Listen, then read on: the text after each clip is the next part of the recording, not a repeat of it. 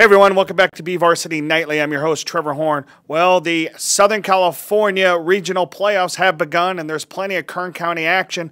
We even had a doubleheader over at Foothills, the boys' soccer team and the boys' basketball team, both hosting tonight as high seeds. Let's go straight to the highlights. Fantastic crowd on hand for this 4 o'clock start at Foothill as the Trojans were taking on number 7 George Washington Prep out of Los Angeles head coach Ty Rose, well, he was there excited because he had jury duty and he finally got out of it this morning. But he was able to watch this as Erasmo Hernandez with the free kick and gives Foothill a 1 0 lead.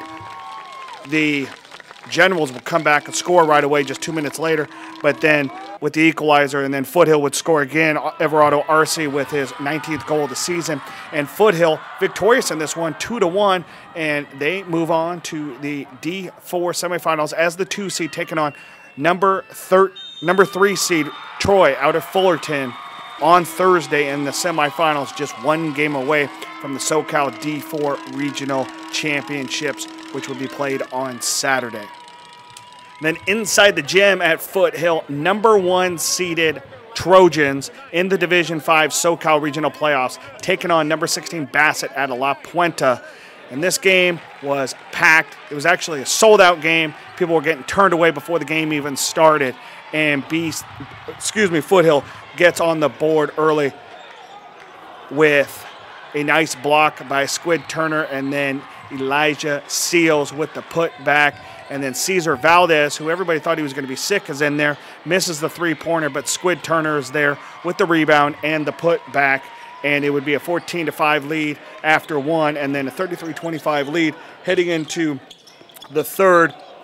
The Trojans with the ball here, looking for something to happen. Jaden Phillips gets it inside.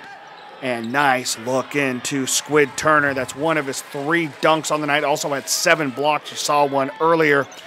And then Turner one more time, and it's a 12 nothing run to start the third quarter after the Olympians started to get this one close. Turner pulls it in one more time. Six there you just saw of his 16 tonight, but Bassett wasn't done. Three pointer there by Jesse Abelos, and then Jared Covarrubias would hit a long three here, and that would make it 51 44 Trojans. But Foothill would pull away late in a sloppy victory here. Warren Stingley with the and one gets to the line, and then Stingley will get the ball here one more time. Four different Trojans scored in double figures, but they had 20 plus turnovers in this one. Stingley gets it put back one more time. And you can see that 1988 D3 D2 banner for the Trojans. That's what they're seeking again this year.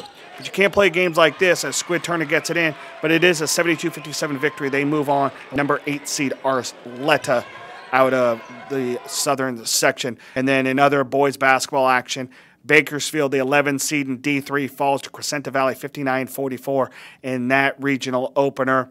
In overtime, Bakersfield Christian had a lead throughout regulation, but falls 69 68 in overtime to Pacifica Christian out of Newport Beach. So the BCHS and BHS season ends in boys basketball, while Independence in D4 victorious tonight 76 71 over Lemoore. Our John Metis was at this game. You can read about this one tonight at Bakersfield.com.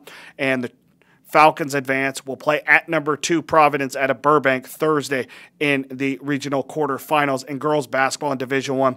BHS's season comes to an end and 73-44 loss to number four Granada Hills while McFarland, the one seed in D3, victorious tonight 68 to 56 over number 16 Oxnard.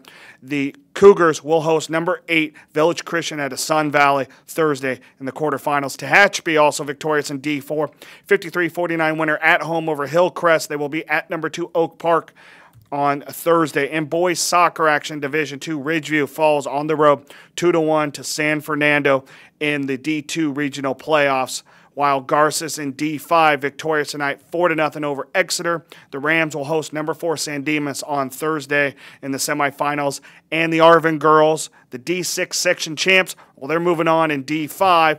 They defeated Venice tonight nothing nothing and it was in PKs 4 3 for Arvin. So Arvin advances to the semifinals as well. That's all the action we have for you guys tonight. If you want to check out more of our spring sports, you can look at our roundup later tonight on Bakersfield.com, including the Terrio Classic Championship between Frontier and Stockdale. Our sports editor Teddy Feinberg was at that game. He'll have a write up from that later tonight. For BVarsity Nightly, I'm Trevor Horn. We'll be back on Thursday for those semifinal and quarterfinal matchups for Kern County teams in the SoCal Regional Playoffs. Till then, have a good night. Bye bye.